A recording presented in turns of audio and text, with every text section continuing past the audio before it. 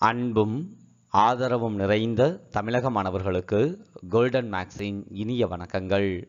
நாம் இன்னைக்கு பார்க்க போகிற கணக்கு F composite G is equal to G composite F எனில் கேயின் மதிப்பை காண்க.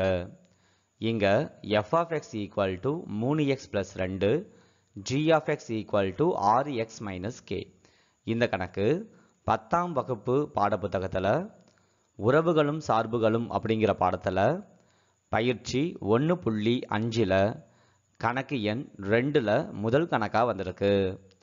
இந்த கணக்குக்கு ஆன்சர் கண்டுபிடிக்கிறதுக்கு முதல்ல எஃப் காம்போசிட் ஜி கண்டுபிடிக்க போகிறோம் எஃப் காம்போசிட் ஜி இதுக்கு என்ன அர்த்தம்னா எஃப்க்குள்ளார ஜி ஆஃப் எக்ஸ் இருக்குன்னு அர்த்தம். அதாவது F of G of X இங்கே உள்ள எஃப் ஆஃப் அப்படியே இருக்கட்டும். ஜி ஆஃப் எக்ஸுக்கு பதிலாக இங்கே ஆறு எக்ஸ் மைனஸ் கேன்னு கொடுத்துருக்காங்க. ஸோ அதை எடுத்து அப்படியே எழுதிக்கிறேன்.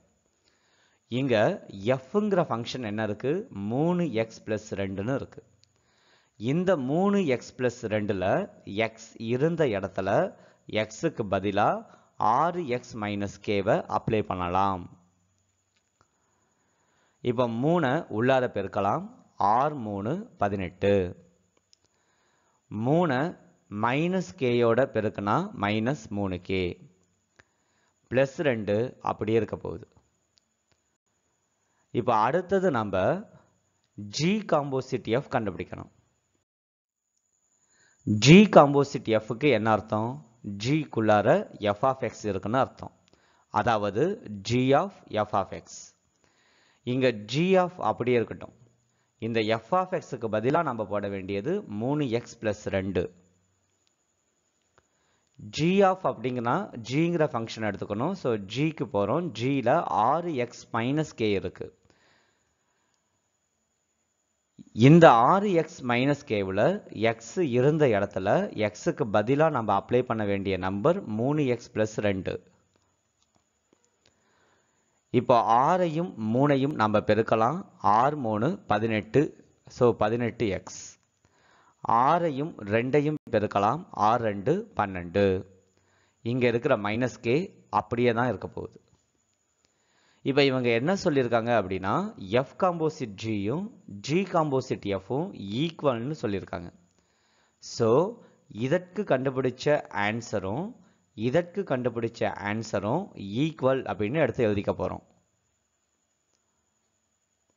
இப்போ இதில் நம்ம என்ன பண்ணலாம்னா இங்கே இருக்கிற பதினெட்டு எக்ஸை ஈக்குவல்ட்டுக்கு அந்த பக்கம் எடுத்துகிட்டு போனால் மைனஸ் பதினெட்டு எக்ஸாக அது மாறிடும்.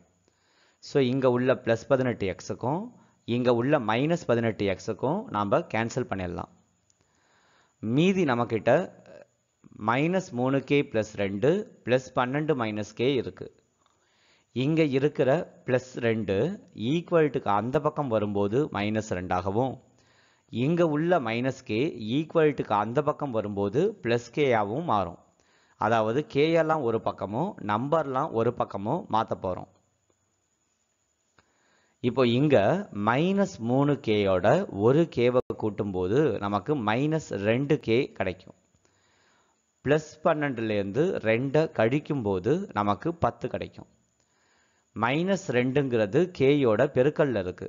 ஸோ பெருக்கல்ல இருக்கிற மைனஸ் ரெண்டு ஈக்குவல்ட்டுக்கு அந்த பக்கம் வரும்போது வகுத்தலாக மாறிடும்.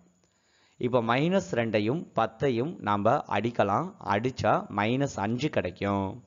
ஸோ கேயினுடைய மதிப்பு மைனஸ் அஞ்சு. இந்த வீடியோ உங்களுக்கு பிடிச்சிருந்துச்சி அப்படின்னா ஒரு லைக் பண்ணுங்கள் உங்களுடைய நண்பர்களுக்கும் இந்த வீடியோவை ஷேர் பண்ணுங்கள் இதே போன்ற வீடியோ உங்களுக்கு ரெகுலராக கிடைக்கணும் அப்படின்னா மறக்காமல் நம்மளுடைய சேனலை சப்ஸ்கிரைப் பண்ணுங்க. மீண்டும் உங்களை அடுத்த வீடியோவில் சந்திக்கிறேன். அதுவரை நன்றி வணக்கம்.